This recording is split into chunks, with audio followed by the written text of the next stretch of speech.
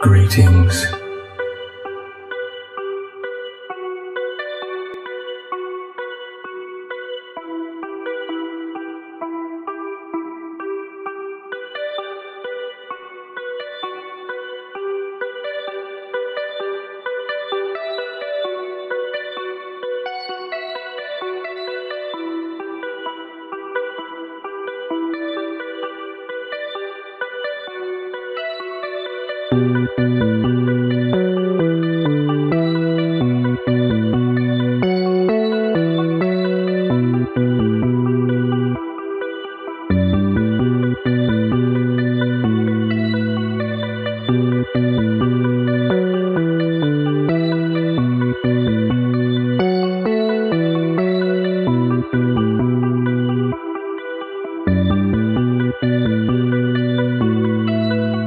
A humanoid appearance 1.9 meters tall.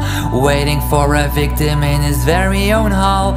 When you meet him he may salute. Hello. In his traditional plague doctor suit.